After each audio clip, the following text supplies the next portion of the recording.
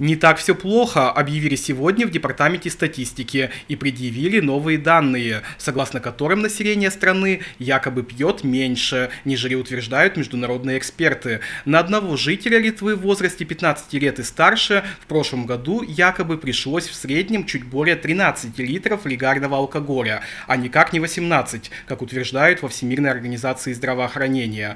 Более того, это почти на литр меньше, чем в 2015 году, показывает Показатели легарного алкоголя подготовлены за вычетом потребленного посетившими страну туристами и приобретенного в торговых точках на границе алкоголя, утверждают сотрудники статистики. И привели цифры. Падение на 5,5% крепких спиртных напитков, а пива и вина и вовсе выпили на 5 и 10% меньше. Как собственные подсчеты повлияют на мировой рейтинг, неизвестно, но зато внутри страны можно вздохнуть с облегчением. Не такие мы и пьяницы почти тост.